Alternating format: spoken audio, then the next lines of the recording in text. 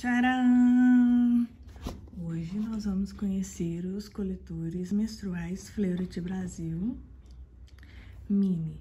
Muitas mulheres pediam os coletores é, de um tamanho menor do que o tipo A e o tipo B, devido à altura do colo do útero, né? A gente mede de acordo com a falange, é, inserindo o dedo no canal vaginal, de acordo onde a sua falange parar, você vai medir com uma régua os centímetros e muitas mulheres têm o colo baixo, conseguem sentir o colo do útero a partir dessa falange.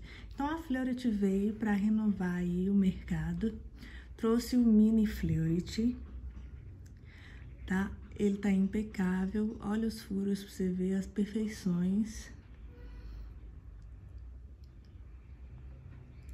Os detalhes, o nome bem visível, as ranhuras, a maleabilidade da haste,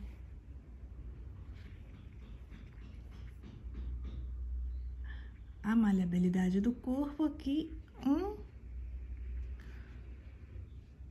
tá maior que o outro. Não sei se é a posição.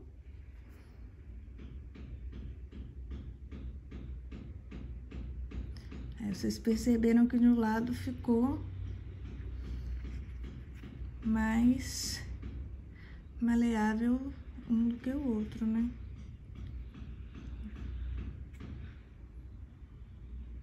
É bom, eu ainda não sei se tem motivos para essa maleabilidade, mas eu vou estar tá entrando em contato com a Flirt, tá?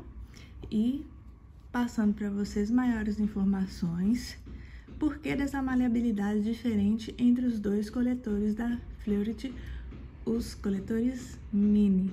Ai, são lindos. Gente, então é isso, tá? Até a próxima. Aguardo vocês para mais comparações, tá? Vai ter novidades aí com coletores, é, lançamentos da Fleurit, outros lançamentos, tá? Que nós vamos comparar com marcas nacionais e internacionais. Então, para vocês, aquele abraço e até o próximo.